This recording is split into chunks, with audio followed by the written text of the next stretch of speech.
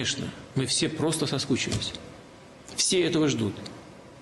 Но чем строже мы, все граждане России, будем сейчас соблюдать необходимые требования, следовать правилам самоизоляции и карантина, тем быстрее это все пройдет.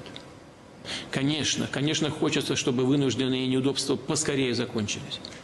Но, повторю, полагаться на то, что угроза якобы снизилась и теперь точно обойдет нас стороной, было бы беспечно. Даже опасно. В этой связи мною приняты следующие решения. Первое. Впереди у нас череда больших майских праздников, а между ними рабочие дни – 6, 7 и 8 мая.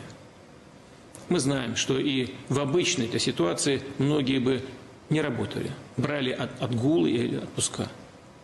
А сейчас тем более нельзя рисковать. Поэтому считаю правильным объявить эти три дня нерабочими сохранением заработной платы.